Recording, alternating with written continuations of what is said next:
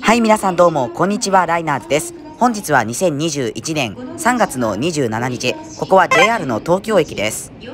本日は上越新幹線に乗ってスキーをしに行こうかなと思っているんですね。スキーや旅行などに行くんだったら、まあ、僕は絶対に新幹線を使いますから、今回も新幹線を使おうかなと思います。ただいま来た車両は E4 系 MAX と呼ばれる車両です。この車両は今年の秋でもう引退してしまうそうです。オール2階建ての車両でですね僕結構好きだったんですけどねもう残念です。で今回はこの引退間近ということから E4 系をわざわざ選びました。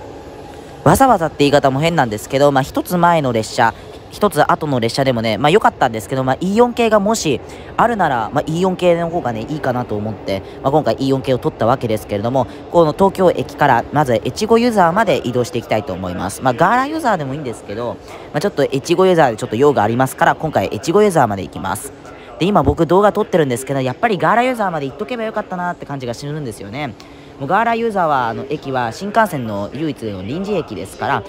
ガーラスキー場が、まあ、空いている時しかその臨時駅が営業をしないんですね。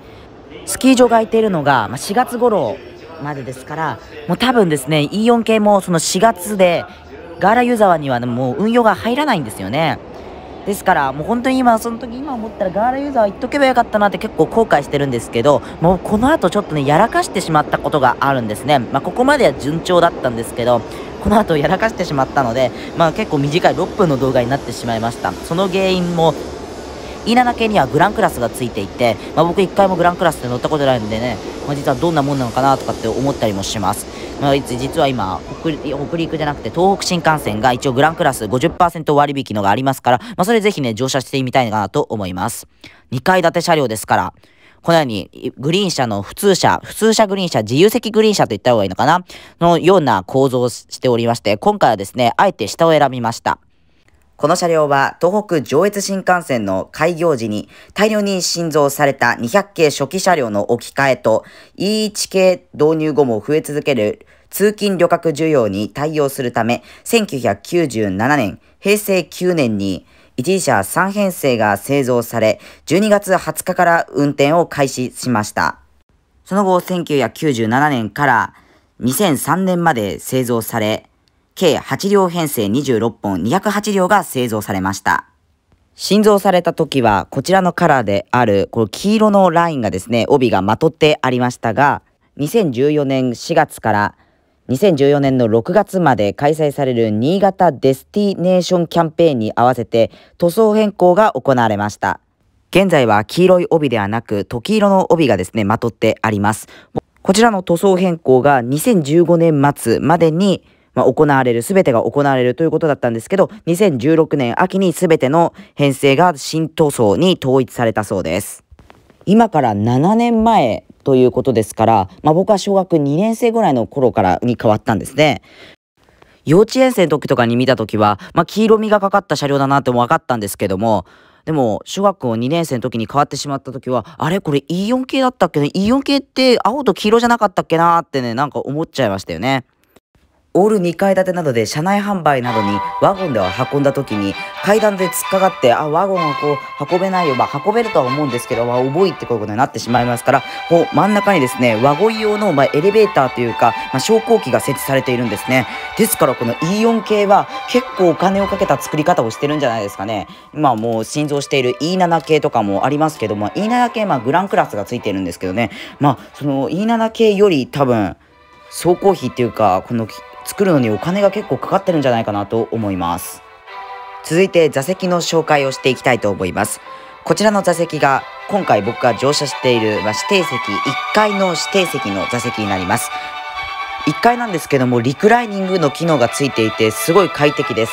まああんまり景色はね、まあもういつも見てる方とか、あとあんまり景色気にしない方とかは、もう1階がで一番いいと思います。そしてこちらがですね、2階の自由席の方です。で、自由席の方はま2階なので眺めはすごく良いのですが、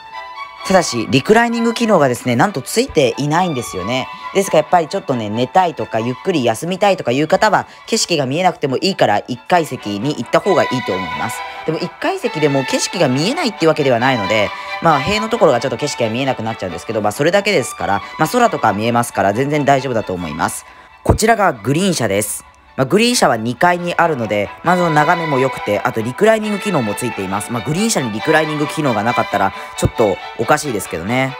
2階席はですね、1階だけ乗ったことあるんですけど、まあ、2階からの眺めもね、本当に素晴らしいんですね。他の新幹線の車両より少し一段上から見られるっていうのがですね、すごい良かったんですけど、まあそしたら下から見ようっていうものありまして、まあ、今回下から見てみました。で、今こちらですね、通過しているのが、もうあんまり見えないと思うんですけど、日暮里のところですね、トレイミュージアムと呼ばれている、そ下五院伝橋とかをね、すごいよく見えました。でも本当にあっという間にもう大宮なんですよね。これね、大宮今出発したところなんですけど、やっぱり一段下、1階席だですから、やっぱり結構こう地面にもついてる感じで走行してるんですよね。これも結構面白いかなと思います。もう今年の秋までしかこれ味わえない光景ですからですね、もう本当貴重な光景ですよね、本当に。この車両はですね、2階建ての車両であるから、マックス時とか皆さん聞いたことありますかね？マックスという、まあ、愛称が付けられております。通常の、まあ、車両、新幹線の車両は1階建てですから、まあ、その下に床下機器、まあ、走行機器などがですね、備えられていますが、この E4 系に関しては2階席もありますから1階と2階席2階建てですから走行機器を設けるスペースがなかったんですね。ですからそのためちょっとこう通路がすごい長いところがありましてそこにですね走行機器が備えられています。そしてこの駅はですね もう驚きますけど上毛高原です。まあ、今までここまでなど何を撮影してたんだっていうぐらいカットしておりますが、実はですね、東京駅でサンドイッチとかなんかスイーツとかたくさん買ったんですね。でそれがすごい美味しくって、それに夢中になって食べてしまってたら、まあ、本庄早稲田とか熊谷とか、まあ、その辺りもね、もう通過してしまって、あと大宮と、あ東京は上野とから大宮の間の埼京線の区間とかも、並走のシーンとかも撮りたかったんですけど、もうそのスイーツとかサンドイッチにも、食べるのが本当に夢中で、もう取り忘れてしまいました。本当にね、もう E4K 本当に引退間近なのに、もう取り忘れるって本当最低ですよね。だから、まあ、このような反省を生かして、もう次回からはあんまりサンドイッチとかスイーツとかあんまり買わないように、あの、控えようかなって感じでね、今思っています。最後に1点か2点お伝えしなければならないことがあります。まあこれ肝心なことなんですけど、先ほど僕が E4 系は、まあ、オール2階建ての車両だから、床下式機器を設置するスペースがありません。じゃあどうしたかというと、こう、座席がまあ普通設けてあるところを潰してそこに床下機器を新たにつけましたでこれが画面右側に映っているところが床下機器になりますまあ、外から見てもわかる通り、まあ、そこだけですね、こう壁で埋め込まれていて、で、その他窓があるので、そこには座席があるということがわかります。ですから E4 系は、まあ、一応、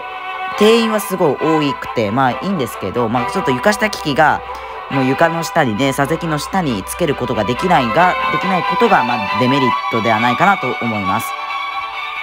で、この E4 系の定員は8両編成で817名でしたっけね。それで8両8両で計16両編成で1634名でしたっけね。それぐらいなんで高速鉄道では、まあ、世界最大級を誇っているんですね。まさにもうマックスという愛称にぴったりの車両ですけれども、もうこのマックスという愛称と呼ばれている E4 系はですね、もう今年の2021年秋で引退予定ということなので、皆さんぜひ乗っていない方は、ぜひ、あの、東京から上の、まあ、東京から高崎とか、まあ、その辺の短い区間でもいいので、ぜひ乗ってみてはいかがでしょうか。